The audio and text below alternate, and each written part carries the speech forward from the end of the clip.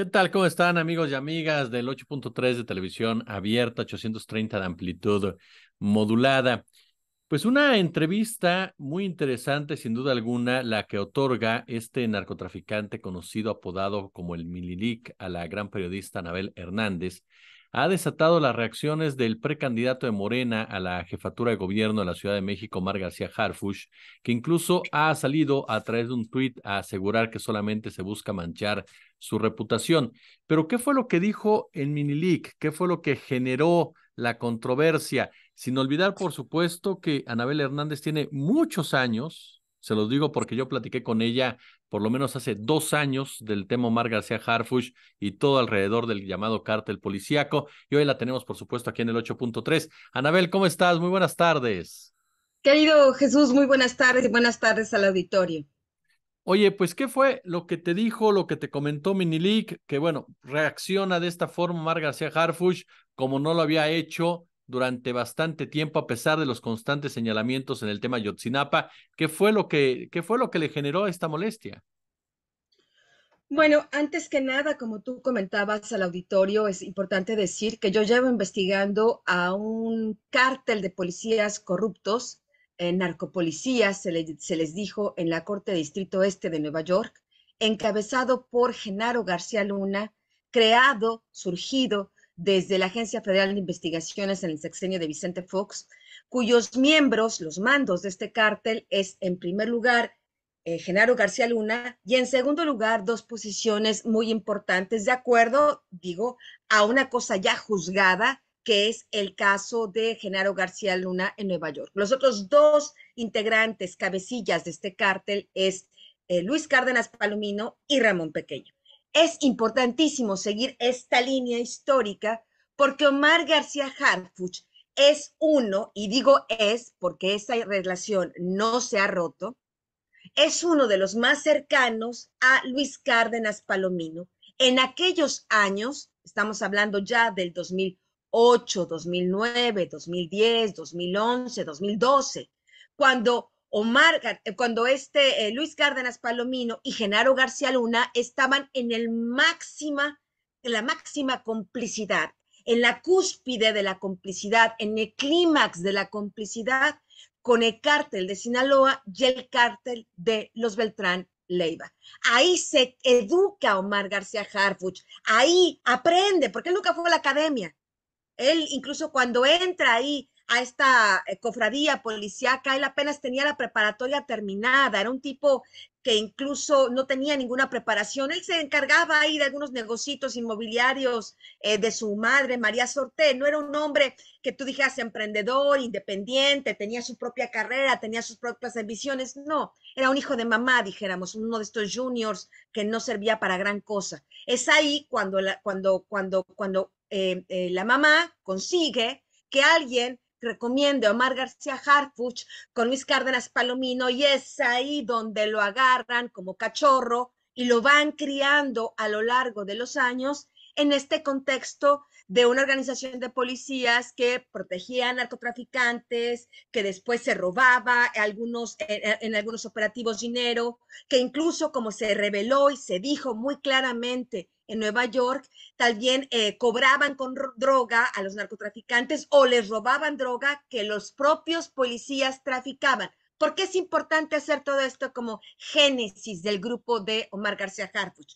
Porque es justamente de este modus operandi que lo acusa no solo en Minilic, que creo que es importante decirlo, y creo que en el brevísimo Twitter del señor eh, García Harfuch, pues le contesta al Minilic, pero no le contesta al Departamento de Justicia de Estados Unidos, porque el Minilic, lo que me dice la entrevista es que eh, Omar García Harfuch recibió eh, al menos 800 mil dólares en soborno por parte de los chapitos en el 2017, cuando está esta ruptura entre él y su padre con la facción de los chapitos. En el operativo que hace la Agencia de Investigación Criminal, de la cual era titular Omar García Harfuch, estamos hablando 2017, cuando se hace este operativo, estos, Omar García Harfuch y su equipo le roba a Minilic, esto es lo que él asegura en la entrevista. Habría que decir que Minilic es un narcotraficante juzgado, es un narcotraficante que ya pasó cinco años de prisión en Estados Unidos, que confesó haber traficado toneladas y toneladas de cocaína y de metanfetaminas y esto, es decir, es un hombre que no pretende hacerse ni el limpio ni el bueno, pero es un hombre juzgado, es un hombre que ya purgó su condena y es un hombre cuya credibilidad es de tal tamaño que el gobierno de Estados Unidos lo tiene en este momento como testigo colaborador y, eh, y eh, en este momento eh, lo, es, es uno de los principales testigos de cargo en contra justamente de los chapitos en diferentes cortes federales de Estados Unidos. Este es el nivel de credibilidad que para el gobierno de Estados Unidos tiene Minilic. Bueno, Minilic dice que le roban estos dos millones de dólares a su papá. Unos estaban en el departamento de Anzures y otros estaban en el departamento de Azcapotzalco.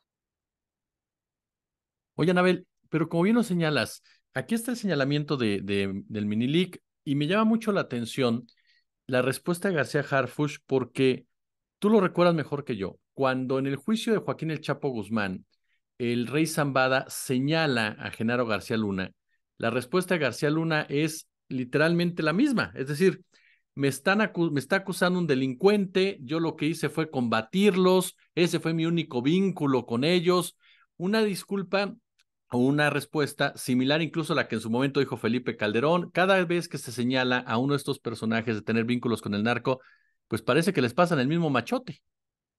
Pues dijimos que es de la misma escuela. Por eso es importante decir de dónde viene Omar García Harfuch.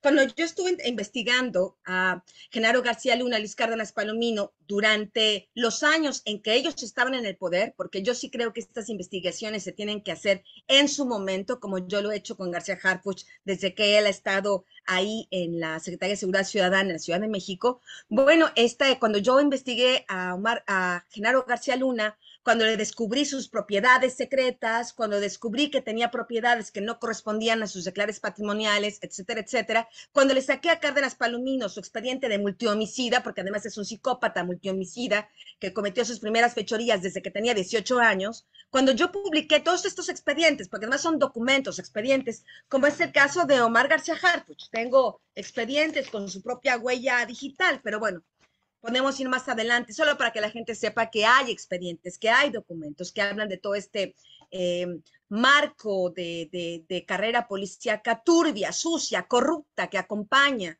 que sigue, que es la sombra, que es la piel eh, de este supuesto Batman eh, policíaco en México. Entonces, es importante recordar estos antecedentes porque en aquella época, justamente García Harfuch, García Luna y, Luis Cárdenas Palomino repetían eso. No, es que nos acusan porque estamos combatiendo el crimen. Es que nos acusan porque les pagan los narcotraficantes, los narcotraficantes tienen una campaña contra nosotros que somos tan buenos y tan puros. Bueno, eso no era así.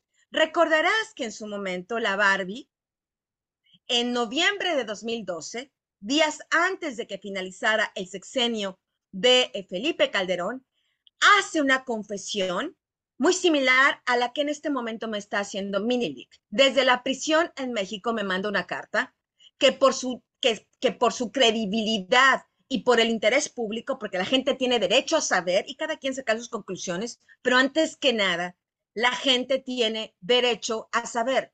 No importa cuántas campañas, cuánto dinero García Luna o García Harfuch estén metiendo a los medios de comunicación para silenciar este tipo de información, la gente tiene el máximo derecho a saber y cada quien, por supuesto, tomar sus propios criterios y asimilaciones de la información. Entonces, en aquellos momentos, García, eh, García, García Luna quería eh, censurar, quería presionar. Cuando la Barbie sale y dice, yo le pagué a García Luna a Cárdenas Palomino, a Ramón Pequeño y da toda la lista, de nuevo fue lo que dijo García Luna, es que nos atacan porque son criminales. Aquí es importante señalar una cosa.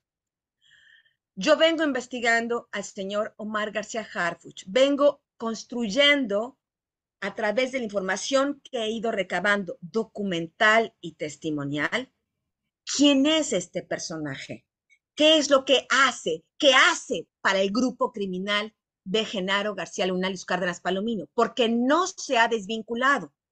Los principales, los brazos derechos de Omar García Harfuch, en la Secretaría de Seguridad Ciudadana, que yo revelo en el libro Las señoras del narco, amar en el infierno, es justamente la estructura criminal de funcionarios más corruptos de Cárdenas Palomino y Ramón Pequeño. Qué, qué, qué raro que desde que terminó, se supone, la cofradía en el 2012, Omar García Harfuch siempre esté relacionado con estas personas. Nunca ha roto.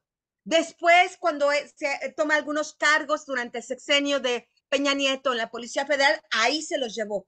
Cuando lo ascienden a este cargo de titular de agencia de investigación criminal, ahí se los llevó. Cuando lo, ponen en, los primeros días del gobierno de Sheinbaum en la Fiscalía de la Ciudad de México, ahí se los llevó. Cuando cambia la Secretaria de Seguridad Ciudadana, ahí se los lleva. ¿Qué significa?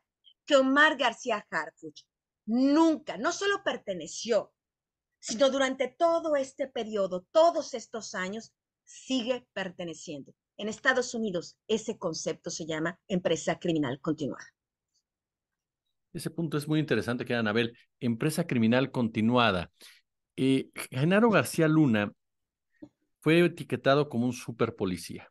El super policía de su época. A través de una campaña, a través de una campaña mediática. No hay que olvidar, Jesús, que esto, te recordarás que incluso en el juicio, perdón que te interrumpa de esta manera, pero recordarás que en el juicio de Nueva York incluso se salió eso. ¿Cuánto dinero pagó al Universal? ¿Cuántos millones? Cuando yo estaba investigando García Luna y sacando toda esta información, ¿cuánto él pagaba a los medios de comunicación para silenciar? Que el señor García Harfuch no se confunda. Habemos quienes nunca nos hemos vendido ni nos venderemos. Así que que no se confunda. Aquí no hay dinero que le alcance para frenar la verdad. A eso iba. Se crea esta imagen de García Luna con un aparato eh, mediático importante, con grupos de ONGs que legitimaron su imagen a través del dinero, y ahora se replica con esta imagen, tú lo decías, del Batman. ¿Qué te dijo el Milik en torno a Batman hoy? Bueno, pues justamente fue parte de cuando él, él me narra todas estas cosas, yo le pregunto, oiga, pero entonces em, no es Batman, porque recordaremos que este apodo de Batman él y su mercadotecnia se lo crean para querer hacerlo creer a la ciudadanía como una especie de superhéroe, ¿no? En este bizarro concepto casi infantil. Bueno, que después podemos ir al IQ de esta persona que, es por debajo de lo normal, pero, pero bueno, esas son otras cuestiones. Pero digamos que en esta, en esta visión de sí mismo infantil, ¿no? De niño de 12 años, ¿no? Él quiere pintarse, porque eso, eso habla de la, de la personalidad eh, psicológica de esta persona, no son, no son cosas pequeñas. En el juicio de García Luna salen fotografías de que la, la fiesta de cumpleaños que la esposa le hace a García Luna de los 50 años, lo pone como agente 007. Es decir, un narcopolicía que se pone a sí mismo como agente 007, un policía corrupto como García Harfuch que se pone como Batman. Son todos estos clichés y todas estas superficialidades de cosas de chiquillos, de adolescentes de 15 años, que nos habla de la, de la inmadurez, de, la, de la verdad, de la poca capacidad que tienen estos personajes para poder hacer algo positivo para la sociedad. Pero bueno, este, este sujeto se ha creado esta imagen de Batman y lo que yo le pregunto entonces al Minili, que entonces no es Batman, le digo, entonces, ¿es el guasón? Y se me queda viendo, me dice, no, no es el guasón, no es Batman y no es el guasón, es peor que el guasón. Porque el guasón, en esta historieta que le gusta, en la que vive eh, García Harfuch, el guasón, me dice, es un malo que es malo, que la juega de malo y se arriesga en esta línea. En cambio, García Harfuch es uno que juega al bueno, que pretende ser bueno con esta eh, cobertura de policía y en cambio es peor todavía que, eh, que el guasón, es decir, que un criminal. De eso estamos hablando. Pero además, Jesús, si me permites comentar a la audiencia, eh, como las declaraciones del mini league son sensibles, es una cosa, pues ya una acusación, pues, pues grave, ¿no? Dijéramos, em, en, todo este contexto eh, de, este perfil de Omar García Harfuch. No me conformé con la declaración del mini league Yo investigué, esta entrevista la hice el primero de octubre. Si yo no hubiera tenido alguna corroboración específica, concreta, tangible, de que algo de esto pudiera ser verdad, yo no hubiera publicado ese artículo. Te lo digo, yo no soy este tipo de periodista. A lo mejor me hubiera tardado más, a lo mejor me hubiera tardado un año o tres años, pero yo no hubiera publicado si no hubiera tenido la certeza de lo que dice el mini es cierto. Y esta certeza la obtuve de dos funcionarios de la DEA que en ese momento, 2017-2018, estuvieron en adscritos a, la Embajada de, de Estados Unidos en México. Ellos directamente, y esto te lo puedo te lo puedo decir porque aquí tengo, aquí tengo esta, esta, esta, esta información que me dan. Ellos directamente señalan que tienen grabaciones, tienen transcripciones de intervenciones telefónicas que ellos hicieron en su momento a un grupo criminal de Michoacán, donde escucharon que justamente como tipo la operación que hace Genaro, eh, eh, García Harfuch, perdón, se parecen tanto que me confundo, le pido perdón a la audiencia, pero es confuso a veces entender la, la, frontera entre uno y otro, ¿no? Como que se mimetizan, como que de pronto se vuelven uno solo. Pero entonces eh, me, reitera esta, este modus operandi de que en la transcripción escuchan que la AIC, por órdenes de García Harfuch, se roba dinero, se roba en dos ocasiones cargamentos de 3 millones de dólares, es decir, dinero contante, 3 millones de dólares en un cateo y en otro. Esto lo escuchan en las grabaciones. Cuando van a las, ahí se le preguntan, oye, ¿ya hiciste cateo? Oye, no, nosotros no hicimos nada, no fuimos nosotros, pero habían sido ellos. Después obtienen más información de un informante que les dice que no solo se robaba dinero eh, eh, en efectivo, sino que Omar García Harfuch y este grupo de policías corruptos de la AIC también se robaban cocaína, cocaína que después ellos mismos comercializaban. Es decir, el mismo modus operandi de eh, Genaro García Luna, Luis Cárdenas Palomino, el mismo modus operandi de lo que está denunciando el Minilic. Es decir, estas, estas informaciones de la corrupción de García Harfuch están incluso documentadas en, imagino, y no quiero tampoco obstruir con esto la justicia, imagino en expedientes eh, pues que se están acumulando en Estados Unidos. Anabel Hernández, siempre es un verdadero placer para tu servidor escucharte y platicar contigo. Al contrario, Jesús, y gracias, gracias por poder eh, dar a tu audiencia esta información que otros callan, pero que aquí la audiencia puede tener acceso a ella, aunque se enoje, aunque haya este intento de censura del señor García Harfuch. Es importante, nadie que, que pretenda ser jefe de gobierno de algún, de, algún, de algún lugar, de alguna localidad, puede pensar que a través de la intimidación y a través de la censura es como se puede gobernar. Si es lo que este mal remedio de Guasón le está ofreciendo a la ciudadanía cuando se publican este tipo de informaciones claras y contundentes, bueno, pues eso, eso, es, es otra razón para preocuparnos sobre esta figura.